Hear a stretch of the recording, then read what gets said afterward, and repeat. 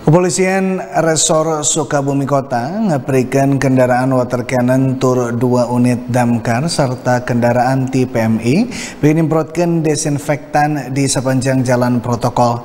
Lintik itu polisi ngebubarkan sawatara warga tur noda ratang kawarnet anu masih tingariung tapi ka wanci peting di pusir daya Sukabumi. Polisi maksa warga sangkan marulang pikin ninglar sumabarna virus COVID-19 terutama geing pihak nungokolakan warnet sangkan ngawat tesanan jam muka. Dina Raraga megatkan mata rantai sumebarna virus corona atau COVID-19 di lelewak Sukabumi, kepolisian ngabubarkan warga anu tingrariung turta ngajurungkan sangkan marulang ti warnet di Jalan Siliwangi Kota Bandung kaimahna sewang-sewangan. Warga di Pahi ngalakonan kegiatan di saluaran imah pikenyinglar sumebarna COVID-19 anu beki mahabu. Liantik itu Kapolres Saharita meredih kanu ngokolaken warnet sangka nutup warnetna turta warga nuker arulin di eta warnet sinamarulang kaimahna sewang-sewangan.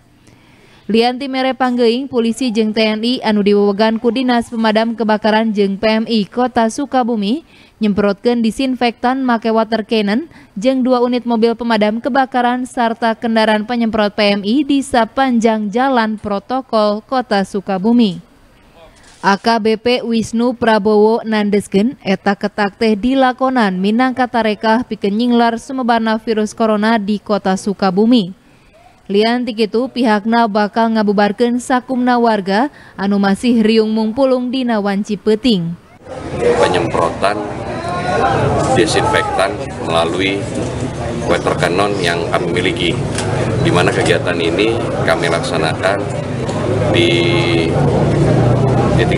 keramaian yang ada di wilayah kota Sukabumi, di antara jalan Sukabumi, di Jalan Ahmad Yani, di Jalan R. Agusasi, di mana tujuannya yaitu untuk mencegah penyebaran daripada virus corona, di mana titik-titik keramaian tersebut yang banyak sering dilalui oleh masyarakat. Dinamprona meh sakumna sikluk jeng pusir dayeh disemprot ku tim gabungan, sangkan sumebarna virus corona di kota Sukabumi bisa diungkulan. Polisi ngageing warga anu henteu boga kepentingan sangkan narumpi di imahna sewang-sewangan pikeun nyinglar sumebarna virus corona. Budi Setiawan, Bandung TV